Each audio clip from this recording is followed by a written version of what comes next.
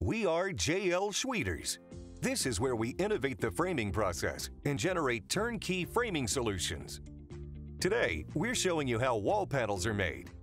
Significantly reducing time, waste, and injuries on the job site, wall panels are an essential part of JL Schwieters' framing system.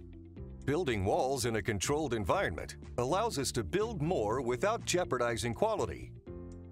On average, we have the capabilities of producing enough wall panels for upwards of 50 houses per week. How are we able to make that happen? Let's take a look. Our expert design staff start by building a digital model of the file first, verifying plans and optimizing the design for production.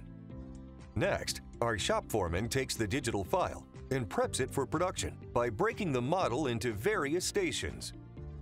The process starts with the match point blade.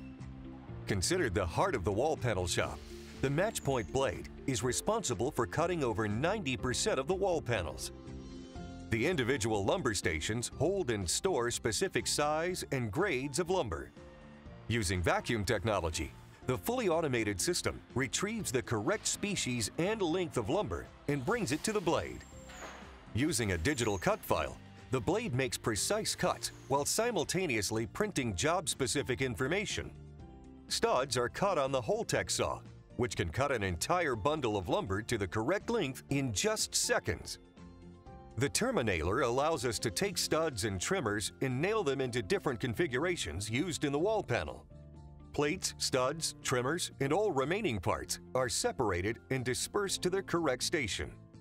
The line starts at the opening station, where assemblers build doors and windows based on the digital blueprint. Assemblers at the setup station ensure that all plates are lined up and the studs are precisely placed at the location marked by the match point. The remaining plates are laid on top of the studs and it moves to the framing station. From there, it runs through the automatic nailing system. The sheathing is precisely cut on the twin-axis saw and put into place and fastened according to the digital design. The bridge nailer delivers fasteners automatically at a spacing dictated by plan specifications. From there, the wall panels are stacked according to initial design for specific load optimization, shipping, and proper placement in the field.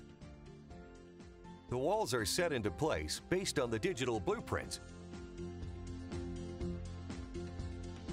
To find out more information about our wall panels or any other components we offer, visit our website